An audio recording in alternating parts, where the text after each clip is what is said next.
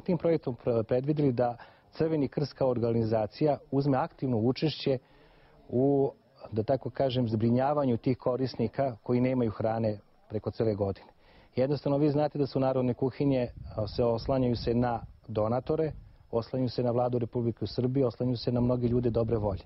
Međutim, mi smo smatrali da u Crvenom krstu trebamo i mi da damo svoje lične učešće u tom smislu, zato što će da radimo neke projekte gde bismo mi proizvodili hranu i tu hranu koju proizvedemo bukvalno bismo ovaj upotrebili za ishranu naših, naših korisnika.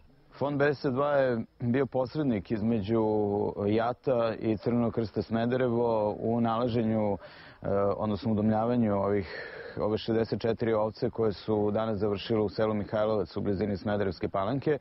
Na ovaj način e, naša akcija Hrana za sve koja je već ušla u drugu godinu svog postavljanja do sada e, distribuirala hranu u vrednosti od skoro miliona i po eura, ulazi u jednu novu fazu u kojoj razmišljamo e, koji je to najbolji način da se dugoročno reši pitanje snabdevanja narodnih kuhinja Srbije. Po našem mišljenju to je kreiranje proizvodnje unutar ovakvih sistema namenjene snabdevanju narodnih kuhinja, njihovih potreba.